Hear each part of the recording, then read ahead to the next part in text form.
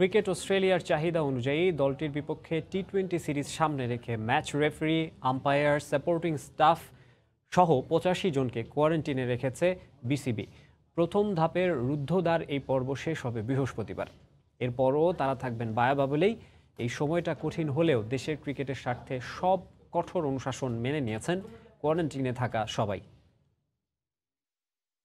এত কাছে তবু যেন এত দূরে। পাশাপাশি রুমে তবুও নেই সাক্ষাতের সুযোগ। বায়বাবুলের বন্দি জীবনের সময় কাটে তাই ভিডিও কলে ঘরের মাঠে কোভিডকালের তৃতীয় সিরিজ, তবে অস্ট্রেলিয়া বলেই আরও বেশি তোড়জোড়। অজি বোর্ডের সাফ কথা, সংশ্লিষ্ট সবাইকেই থাকতে হবে দুই সপ্তাহ রুদ্ধদ্বার কোয়ারেন্টাইনে। তাই তো রেফারি আম্পায়ার তো আছেই এবার, সঙ্গে যোগ হয়েছে গ্রাউন্ডস কর্মীরাও। সব মিলিয়ে সংখ্যাটা পঁচাশি জনের। পরিবার আর কর্মপরিকল্পনায় সময় কাটছে তাদের। এটা আমাদের জন্য আসলে একটা বড় চ্যালেঞ্জ এরকম করে দশ দিন বা চোদ্দ দিনের কোয়ারেন্টাইনে আমরা এর আগে অন্য কোনো সিরিজে আমরা থাকি নাই। কিন্তু এটাও একটা বড় আমাদের পরীক্ষা ধৈর্য এবং এই কোয়ারেন্টাইন থাকা। যদিও রুমের মধ্যে একা থাকা, রুম থেকে বের না হওয়া চোদ্দ দিন ইটস রিয়েলি টাফ আমাদের জন্য। সময় যে খুব একটা খারাপ কাটছে তা বলব না। এই ধরেন ভার্চুয়ালি বন্ধু বান্ধবদের সাথে আড্ডা দিয়ে ফ্যামিলির সাথে আড্ডা দিয়ে, গান শুনে টিভি দেখে, কিছু ফিজিক্যাল অ্যাক্টিভিটিস করে, মাঝে মাঝে জানলা দিয়ে রাস্তার মানুষ গুনে গাড়ি দেখে এভাবেই সময় কাটছে। তবে শুধু বাংলাদেশি নয় কোভিডকালে সব সিরিজের ক্ষেত্রে একই প্রোটোকল মেনেছে অজিরা। তাই তো বাস্তবতা মানছেন কোয়ারেন্টাইনে থাকা সাপোর্টিং স্টাফরা। আমাদেরকে এটা মেনে নিতে হচ্ছে। আমরা বাংলাদেশি যারা আছি তাদের জন্য একটা বড় চ্যালেঞ্জ এবং এটা আমরা এইটা যদি আমরা ঠিক যেভাবে আমরা এই চ্যালেঞ্জটুকু নিয়েছি আমরা অবশ্যই চেষ্টা করব যে বিগত যে সিরিজগুলি আমরা পারফর্ম করেছি সেই ধারাবাহিকতাটা যাতে করে আমরা আম, করতে পারি এবং মেনটেন করতে পারি। বিং এ প্রফেশনাল আম্পায়ার আমি আমি বুঝতে পারছি যে rather than complaining we have to adhere to the system that has been put in place so আমাদের থেকেও প্লেয়ারদের জন্য এটা আরও বেশি কষ্টের। কারণ ওরা অনেক দিন ধরে সিরিজ খেলছে এবং বাংলাদেশের প্লেয়াররা তো প্রায় ছয় মাস ধরে আছে। আশা করি আসলে এই সিরিজটা সফলভাবে সম্পন্ন হবে এবং এটা আমাদের ক্রিকেটের জন্য মঙ্গল বয়ে আনবে। উনত্রিশ জুলাই প্রথম ধাপের রুম কোয়ারেন্টাইন শেষ হলেও বায়ুবাবুল থেকে মুক্তি মিলছে না সহসাই। পুরো সিরিজেই যে তাদের থাকতে হচ্ছে নির্দিষ্ট গণ্ডির মধ্যেই। মাহবুব রিমন সময় সংবাদ ঢাকা। টোকিও অলিম্পিক নিয়ে কথা বলতে আজ আমাদের স্টুডিওতে আছেন এসএ গেমসের স্বর্ণজয়ী ভারোত্তোলক মাবি আক্তার সীমান্ত। সীমান্ত আপনাকে স্বাগত আমাদের আয়োজনে। অলিম্পিক চলছে চারটা ডিসিপ্লিনের অ্যাথলিটরা বাংলাদেশ থেকে অংশগ্রহণ করেছে। আর্চারি দলগত ইভেন্টে রোমান এবং দিয়া জুটি চূড়ান্ত পর্ব থেকে বাদ পড়েছেন এবং শুটিংয়ে তো বাছাই পর্ব থেকে আবদুল্লাহ হেল বাকি বাদ পড়েছেন। এটা কি প্রত্যাশিত ছিল নাকি আরও বেশি আশা করেছিলেন? না যেহেতু রোমান সানা আর দিয়ার পারফরমেন্সটা লাস্ট ওয়ার্ল্ড চ্যাম্পিয়নশিপে ভালো গিয়েছে তো আশা করেছিলাম এর থেকে একটু ভালো বাট যতটুকু করেছে আসলে আমাদের বাংলাদেশের জন্য এতটুকু খুব আশাজনক আমি মনে করি অ্যাজ এ খেলোয়াড় হিসেবে। বাকি ভাইয়ের পারফরমেন্সটা আরও ভালো হওয়া দরকার ছিল যেটা উনি করেছে এইটা আশা করছিলাম না ভাইয়ার কাছে। যেহেতু ওনার অভিজ্ঞতা একটা আছে রিও অলিম্পিকে হ্যাঁ কমনওয়েলথ গেমসের সিলভার মেডেলিস্ট উনি। তো আশা করেছিলাম যে হয়তো এর থেকে ভালো একটা স্কোর করবে এবং ভালো একটা র্যাঙ্কিংয়ে যাবে। বাট ভাইয়া একটু আই থিঙ্ক কোনো একটা প্রবলেমের জন্য বা আমাদেরও কোনো প্ল্যানিংয়ের প্রবলেমের জন্য হয়তো হয়নি।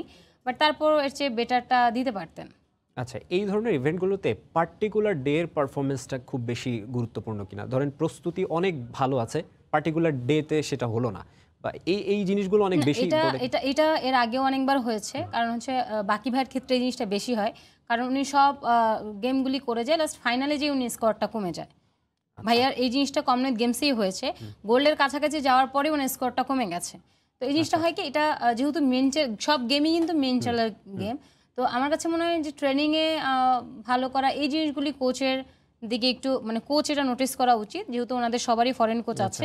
তো এই জিনিসটা ওনারা অবশ্যই অবজার্ভ করে হয়তো। তো আরও একটু অবজার্ভ করলে হয়তো আমরা ভবিষ্যতে আরও ভালো রেজাল্ট পাবো। এই দিকে একটু মনোযোগী হওয়া উচিত। রোমান সানার কালকে একটা খেলা আছে। তো সেটি নিয়ে আসলে কি আশা করা যায়? আপনি যাওয়ার আগে আসলে রোমান সানার সাথে আপনার ব্যক্তিগতভাবে কথা হয়েছে কিনা? আপনি তো তাকে আগে থেকেই চেনেন। তো সেই হিসেবে কি এক্সপেক্ট করছেন? রোমান্সানের সাথে আহ, আহ, এর আগে আমরা ভ্যাকসিন দিতে যে দেখা হয়েছে। আমাদের লাস্ট ভ্যাকসিন এবং ফার্স্ট ভ্যাকসিনে দেখা হয়েছে। তো যতটুকু রোমান্সানের কাছ থেকে আসলে আমি সবসময় মনে করি যেহেতু ও কোয়ালিফাই হয়ে গেছে ওর কাছ থেকে কিন্তু পুরো জাতির এবং আমাদেরও কিন্তু একটা এক্সপেক্ট খুব আলাদা। কারণ আমরা মনে করি যে ও একমন একটা ভালো রেজাল্ট করবে, সেটা হচ্ছে হলো যে বাংলাদেশের জন্য খুব দৃশ্যমান হবে। কারণ ও কিন্তু অলরেডি দৃশ্যমান করেছে কোয়ালিফাই করে যে ডাইরেক্ট সরাসরি খেলা মানে কি? আমাদের বাংলাদেশের জন্য অনেক বড় কিছু। তো আমি পার্সোনালি রোমান সানের কাছ থেকে এইটা আশা করি যে রোমান খুব ভালো একটা রেজাল্ট করবে এবং কোয়ার্টার ফাইনাল সেমিফাইনাল পর্যন্ত যেন অ্যাটলিস্ট ও যায়। মেডেল পেলে তো আলহামদুলিল্লাহ আমরা সবচেয়ে ইতিহাস রচনা করব আর সারা জীবন আমরা পার্টিসিপেট করে গেছি। কোনোদিন কোনো রেজাল্ট পাইনি। তো এটা হলে আমাদের ইতিহাস রচনা হবে বাংলাদেশের ফ্ল্যাগটা উঠবে আর ও যদি কোয়ার্টার ফাইনাল সেমিফাইনাল খেলে, তাহলে এটাও আমাদের জন্য অনেক ভালো হবে। কারণ এর পরবর্তীতে নিউ জেনারেশন এটা বলতে পারবে যে, না, এ এতটুকু গিয়েছে, তার দেন আমাদের আরেকটু যেতে হবে। যেটা বলছিলেন যে, সারা জীবন আমরা পার্টিসিপেট করে গেছি, কিন্তু মেডেল আসলে পাচ্ছি না। অলিম্পিকে আসলে মেডেলই সবচেয়ে বড় কথা। বাংলাদেশের ফ্ল্যাগটা সবার উপরে থাকা। তো এই বলার মতো পারফরমেন্সটা যে নেই, এবং প্রত্যেকবারই যে এটা হচ্ছে অনেক দিন ধরেই তো অংশ নিচ্ছে আমাদের অ্যাথলিটরা এই জায়গাটা কেন হচ্ছে? আহ, আসলে যারা ট্রেনিং প্ল্যানিংয়ে থাকে তারা আমার থেকে ভালো বলতে পারবে যে কেন হচ্ছে। বাট আমি আমার আমি যেটা দেখছি আমি এটা বরাবরই বলেছি আমাদের বাংলাদেশে হয়তো কোথাও ট্রেনিং প্ল্যানিং একটু ঘাটতি আছে। আচ্ছা। ঘাটতি আছে। যদি ঘাটতি না থাকে তাহলে একটা জিনিস দেখেন আমরা কিন্তু কমনওয়েলথের গন্ডি পার হতে পারছি না।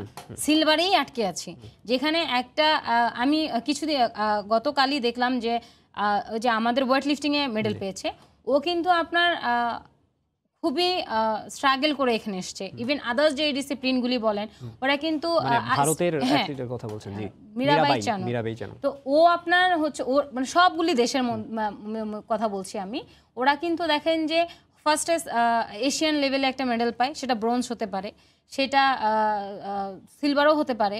ইভেন কমনওয়েলথ গেমসে সিলভার ব্রোঞ্জ হতে পারে। কিন্তু ওরা কিন্তু এই যেমন ধরেন আপনার এই এই কমনওয়েলথ গেমসে সিলভার পেয়ে গেছে নেক্সট কমনওয়েলথ গেমস কিন্তু ওরা রেকর্ড গোল্ড পায়। কেন পায়? প্রসেস কেন ওদের প্রসেস ওইভাবে থাকে ট্রেনিং প্ল্যানিংটা ওইভাবে থাকে ফ্যাসিলিটিটা ওইভাবে থাকে বাট আমরা দেখেন আমাদের বাকি ভাই পরপর দুই কমনওয়েলথ গেমসে সিলভার তারপরেও কিন্তু আমরা গোল্ডের দ্বিতীয়বার যে গোল্ডের চেহারাটা দেখতে পারলাম না। তো আমরা এশিয়ান গেমসে এখনও পর্যন্ত নিজের র্যাঙ্কিং দাঁড় করাতে পারিনি তাহলে আমরা অলিম্পিকে কি করে নিজেদের র্যাঙ্কিং দাঁড় করাবো? এটা আমার মনে হয় স্বপ্ন। আমাদের মনে হয় সারা জীবন আমরা পার্টিসিপেটই করে যাব মেডেল হয়তো পাবো না, যদি এই প্ল্যানিংয়ে চলে। বিকজ হচ্ছিল আমার কাছে মনে হয় প্ল্যানিং অনেক ঘাটতি। প্ল্যানিং চেঞ্জ করলে আমরা সবাই ভালো মেডেল পাবো ডেফিনেটলি এবং নেক্সট অলিম্পিক যাচ্ছে নেক্সট অনেক ভালো গেমস আছে, সেই গেমসে মনোযোগী হওয়া উচিত এখন। আপনার মানে কণ্ঠে আসলে আক্ষেপটা মানে শ্লেষটা খুব স্পষ্ট। এই জায়গাটা আসলে কার কার দায়? কে কে দায়টা এড়াতে পারবে না? ফেডারেশন সবসময় স্বপ্নের কথা বলে। এমনকি অলিম্পিক অ্যাসোসিয়েশন তারাও অনেক স্বপ্নের কথা বলে। আসলে ওই যে ফ্যাসিলিটির কথাগুলি বলছেন সেই ফ্যাসিলিটি কি প্রোভাইড করতে পারছি আমরা অ্যাথলিটদের আসলে একটা পরিবারে কোনো কিছু হলে কিন্তু পুরো ফুল ফ্যামিলির বিষয় দোষটাই আসে। তো স্পোর্টসে যারা রিলেটেড যে যে অথরিটি একটা স্পোর্টস অর্গানাইজ করে একটা ডিসিপ্লিন বলে একটা গেমস অর্গানাইজ করে যারা স্পোর্টস রিলেটেড মিনিস্ট্রিতে বলেন অলিম্পিক অ্যাসোসিয়েশন বলেন এবং হচ্ছে হলে আমাদের ফেডারেশন বলেন। এখন এখানে কথা আছে। অনেকে আমরা বলি আমরা যার যার ডিপার্টমেন্টে যারা আছি এটা ফেডারেশনের কথা থাকে। সব প্লেয়াররা যার যার ডিপার্টমেন্টের। এখন সব ডিপার্টমেন্ট কিন্তু আপনার শুধু ন্যাশনালটাই দেখবে যে আমি ডিপার্টমেন্টে যোগ করি আমাকে স্যালারি দিচ্ছি আমার ফিনান্সিয়াল বেকআপ আমার ডিপার্টমেন্ট দেয়। কিন্তু আমার ক্যারিয়ার সামনে নিয়ে যাওয়ার জন্য, আমার মেডেলের জন্য কিন্তু আমার ডিপার্টমেন্ট আমাকে সাপোর্ট দিবে না। ওটা ফেডারেশন দিবে। ওইটা অলিম্পিক অলিম্পিক অলিম্পিক কোনো গেমসের আগে আমাকে সাপোর্ট দিবে। ফেডারেশনকে আপনার মিনিস্ট্রি সাপোর্ট দিবে এনইসি সাপোর্ট দিবে রাইট তো তখন কিন্তু আমরা পাবো। একটা একটা থ্রু হয়ে আসতে হয়। কিন্তু এখন আমার, আমরা সবসময় একটা গল্প দিই। এটা আমার কাছে এখন গল্প মনে হয়। বিকজ এত কাজ থেকে আমরা পার্টিসিপেট করে ফিরে আসতেছি বারবার। এটা আমার কাছে লজ্জাজনক। আমি নিজে পার্সোনালি লজ্জা পাই।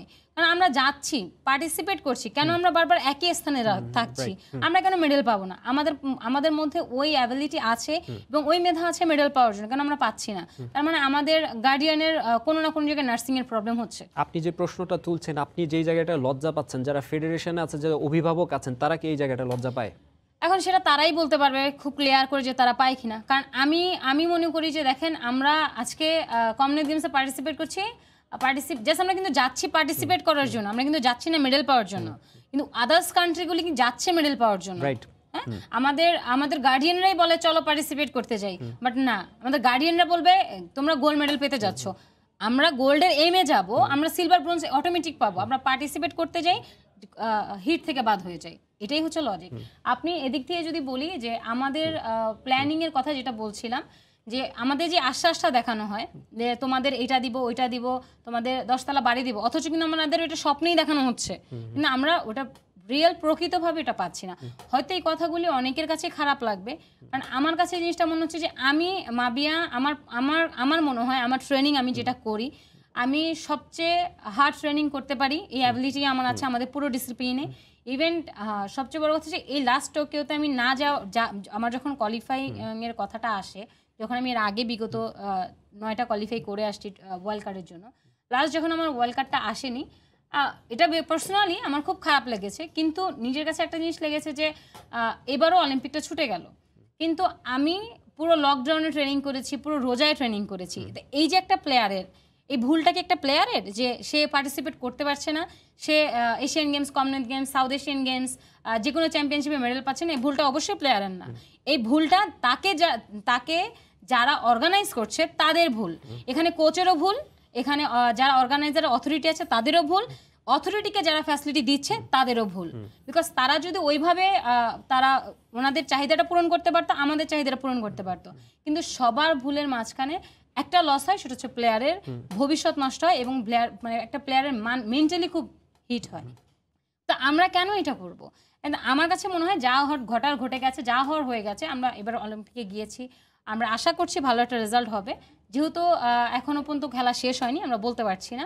খেলা শেষ হওয়ার পরে ওইখান থেকে একটা জিনিস করে আসা উচিত আমাদের সবার যে নেক্সট কমনওয়েলথ গেমস এবং next south Asian games Asian games যেগুলি আমরা পাচ্ছি নেক্সট ইয়ার তো সেই গেমসগুলিতে আমাদের প্লেয়ারদেরকে আমরা মেডেল পাওয়ার জন্য নিব।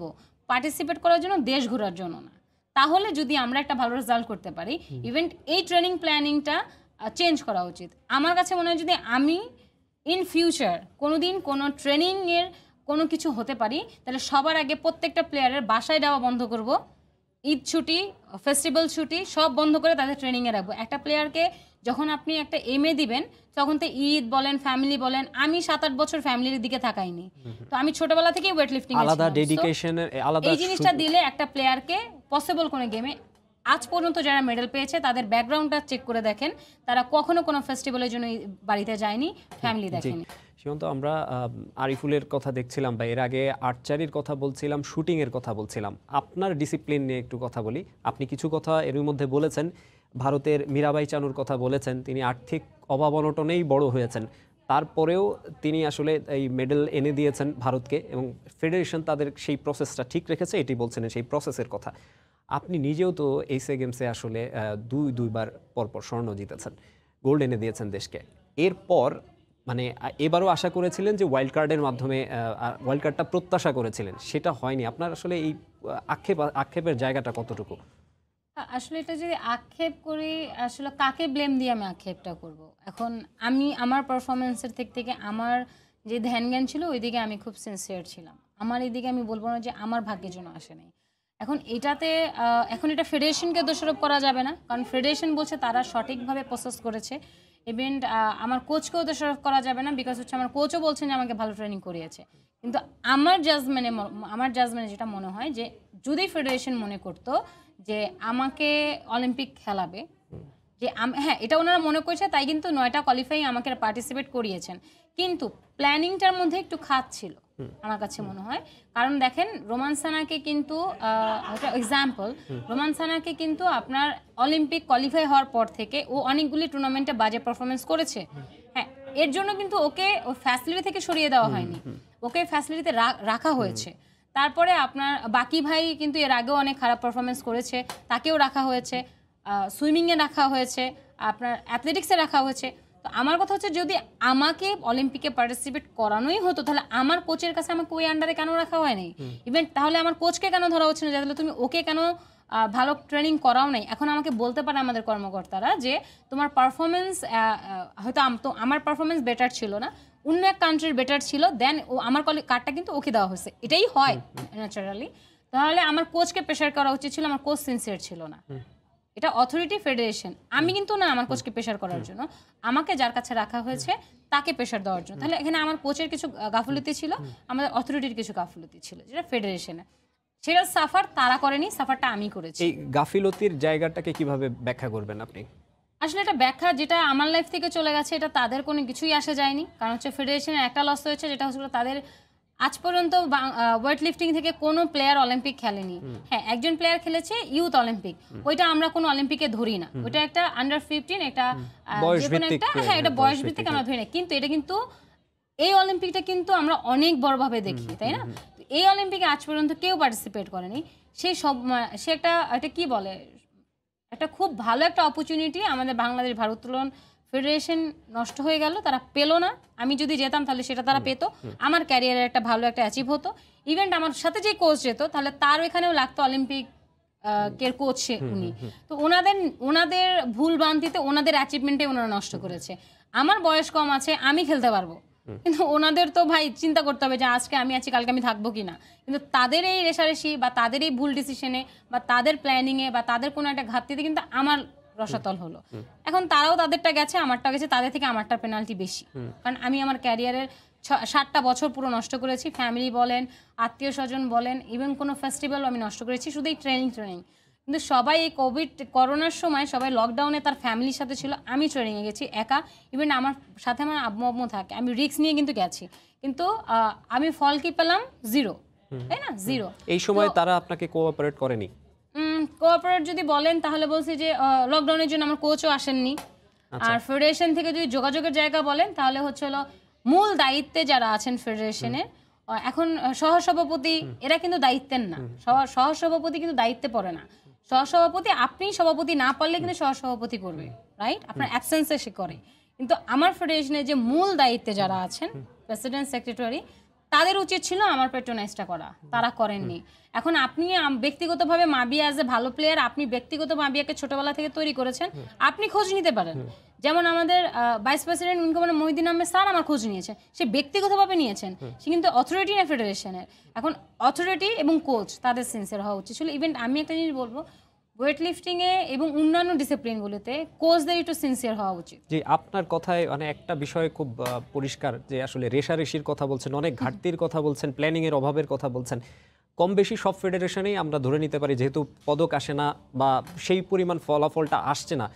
কম বেশি সব ফেডারেশনের চিত্রই এরকম। এই জায়গাগুলোতে আসলে কীভাবে এগুলোকে সলভ করা যায় বা আপনারা এগুলো নিয়ে কি আসলে অলিম্পিকের কাছে বা ক্রীড়া প্রতিমন্ত্রীর কাছে আপনারা কি কোনো অভিযোগ নিয়ে গেছেন কখনো সমাধানের জন্য? আসলে আমি তো এই টাইপের কথা আজকে নতুন বলছি না আমি অনেক কি বলছি তো আমার কাছে মনে হয় যে ক্রীড়া প্রতিমন্ত্রী স্যারের নলেজ এই জিনিসটা আছে। আমি বলি অবশ্যই আপনি না কেউ কোনো না কোনো জার্নালিস্ট অবশ্যই তাকে বলে। বিকজ এটা লাইভ শো হয়। সবই সে শুনতে পাচ্ছে। যেহেতু সে স্পোর্টসের মন্ত্রী সে সবসময় স্পোর্টসের যোগাযোগ রাখে। আমার মনে হয় সে জানে। আমার মনে হয় আমি কখনো তার সরাসরি যাইনি কথা বলতে। সে অনেক ব্যস্ত মানুষ তার সাথে কথা বলতে যাওয়ার জন্য অনেক ফর্মালিটিস মেনটেন করে যেতে হয়। ইভেন্ট আমিও আমার ক্যারিয়ারে ফোকাস করছি। তো এত মেন্টালিটিস করে যাওয়া হয়নি কখনো। আর যদি বলেন যে সলভের কথা দেখেন আমরা প্লেয়াররা কীভাবে সলভ করব? আপনাদের দায়িত্বে বসানো হয়েছে সলভ করার জন্য দেখার জন্য। আমাদের অ্যাডভাইস নিয়ে যদি আপনারা করেন তাহলে আপনার ওই দায়িত্বে কী করছেন? তাই না? তো আমার কথা ছিল বাংলাদেশে ওয়েট লিফটিংটাকে চিনেছে আমি বলব দু হাজার ষোলো সালের পরে। এটা আমি কনফিডেন্টলি বলব বিকজ হচ্ছে এর আগেও কিন্তু রেজাল্ট ওয়েট লিফটিং দিয়েছে হ্যাঁ? কিন্তু মাবিয়ার পরে ওয়েট লিফটিং চিনতে পেরেছে। হ্যাঁ ইন ফিউচার আরও চিনবে, কিন্তু মাবিয়া যে রেকর্ড করে গেছে ওয়েট লিফটিংয়ে সেই রেকর্ড ব্রেক করার মতো প্লেয়ার আরও আসবে। কিন্তু ফার্স্ট ইন ফার্স্ট তাই না? কথা আছে।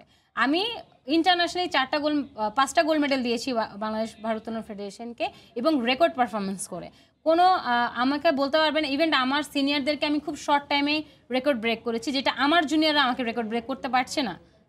তো এত ভালো পারফরমেন্স করার পরও যদি বলেন যে আমাকে নিয়ে প্যাট্রোনাইজ করানোর জন্য আমার নিজের যে কথা বলতে হবে ভাই তাহলে আমার লোহা টানার তো দরকার নাই। আমি অন্য কিছু করি অন্য কথা বলি। নিশ্চয়ই যাদের বিরুদ্ধে কথাগুলি বলছেন যাদেরকে নিয়ে বলছেন তারা এই আপনার এই কথাগুলি নিশ্চয়ই শুনছেন এবং এখান থেকে খুব ভালো সমাধান বের হয়ে আসবে এটা আমরা আশা করি। আপনাকে অনেক ধন্যবাদ আমাদের এখানে এসে সময় দেওয়ার জন্য। অবশ্যই ধন্যবাদ। দর্শক, আমরা কথা বলছিলাম আসলে এসএ গেমসের স্বর্ণজয়ী ভারোত্তোলক মাবিয়া আক্তার সীমান্তর সঙ্গে। আসলে একজন অ্যাথলিট অলিম্পিকের স্বপ্ন দেখেন, অনেক বড় বড় স্বপ্ন দেখেন, কিন্তু যে ঘাটতিগুলোর কথা বলা হচ্ছে, যাদেরকে নিয়ে কথাগুলো বলা হচ্ছে, তাদের কাজ পর্যন্ত এই কথাগুলো পৌঁছাক এবং আসলেই সৎভাবে তারা এগুলো নিয়ে ভাবুন এবং সুদূর প্রসারী কোনো প্ল্যানিং নিয়ে এগোক, তাহলেই হয়তো বা সেই স্বপ্নগুলো পূরণ হবে। জানিয়ে দেব, তৃতীয় দিন শেষে অলিম্পিকের পদক তালিকার সবশেষ। কিছুটা চমক দেখিয়ে টেবিলের শীর্ষে উঠে গেছে স্বাগতিক জাপান, যুক্তরাষ্ট্র নেমে গেছে দুইয়ে, আর চীনের অবস্থান তিন নম্বরে। এখন পর্যন্ত স্বর্ণপদক এসেছে স্বর্ণপদক জিতেছে তেইশটি দেশ। আটটি স্বর্ণের সঙ্গে দুই রৌপ্য আর তিন ব্রোঞ্জে তেরো পদক জাপানকে নিয়ে গেছে তালিকার শীর্ষে, যার অধিকাংশ সাফল্য এসেছে তৃতীয় দিনে। দুই নম্বরে থাকা যুক্তরাষ্ট্র জিতেছে সাত স্বর্ণ। মার্কিন অ্যাথলিটদের ঝুলিতে আরও আছে তিন রৌপ্য ও চার ব্রোঞ্জ। ছয় স্বর্ণ, পাঁচ রৌপ্য, সাত ব্রোঞ্জ সহ আঠারো পদক নিয়ে তিনে চীন। নিষেধাজ্ঞার কারণে শেষ নিজ দেশের পতাকায় অংশ না নিতে পারলেও রাশিয়ান অ্যাথলিটরা আছে তালিকার চারে, যাদের ঝুলিতে বারো পদক। এরপরই যথাক্রমে যুক্তরাজ্য, দক্ষিণ কোরিয়া, অস্ট্রেলিয়া আর কসোভোর অবস্থান। একটি করে স্বর্ণ জিতেছে পনেরোটি দেশ। প্রথম দিনেই ভারতের জেতা রৌপ্য পদকটি দক্ষিণ এশিয়ার এখন পর্যন্ত একমাত্র সাফল্য। সেপ্টেম্বরের ফিফা উইন্ডোতে দুটি প্রীতি ম্যাচ আয়োজনের চেষ্টা করছে বাফুফে।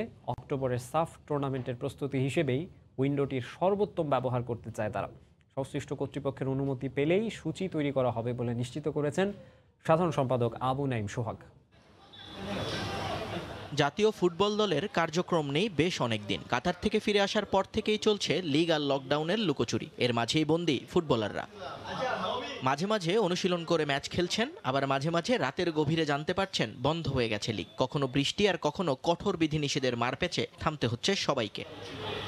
তবে এবার একটা সুখবর আছে তাদের জন্য। লিগ শেষ হতে না হতেই তাদের নামতে হবে ন্যাশনাল ডিউটিতে। আসছে সেপ্টেম্বরের ফিফা উইন্ডোতে জামাল সোহেলদের জন্য ম্যাচের ব্যবস্থা করতে যাচ্ছে ফুটবল ফেডারেশন। সাফ এবং আসিয়ানের দুটো দেশের সঙ্গে আলোচনা চলছে তাদের। যে কোনো একজনকে আনার অথবা সেখানে গিয়ে খেলার চেষ্টা চালাচ্ছে বাফুফে। অক্টোবরের সাফ টুর্নামেন্টের আগে প্রস্তুতি হিসেবে এ উইন্ডো ব্যবহার করতে চায় ফেডারেশন। সাব চ্যাম্পিয়নশিপটি লাইকলি অক্টোবরে আয়োজিত হতে যাচ্ছে। অক্টোবর, অর্থাৎ আমাদের অক্টোবর দু হাজার একুশে। এবং চার থেকে বারোই অক্টোবরের মধ্যে। বাফুফের পক্ষ থেকে এখন হায়েস্ট আমাদের অ্যাটেনশন হচ্ছে সেপ্টেম্বরের যে আমাদের উইন্ডোটা রয়েছে, সেই সেপ্টেম্বর উইন্ডোটা আমরা কীভাবে কাজে লাগাবো, কার সাথে খেলব? টোয়েন্টি ফোর্থ অফ আগস্টের পরে উইন্ডো শুরুর আগে ফিফা উইন্ডো শুরুর আগে মাত্র চার পাঁচ দিন সময় পাওয়া যাবে। সো এই সময়ের মধ্যে সুন্দরভাবে জাতীয় দলকে নিয়ে আমরা কীভাবে, কোথায়, কার সাথে আমরা ন্যূনতম উইন্ডোর মধ্যে দুটো ম্যাচ খেলতে পারি সেটা নিয়ে আমরা খুব জোরেশোরেই কাজ করছি।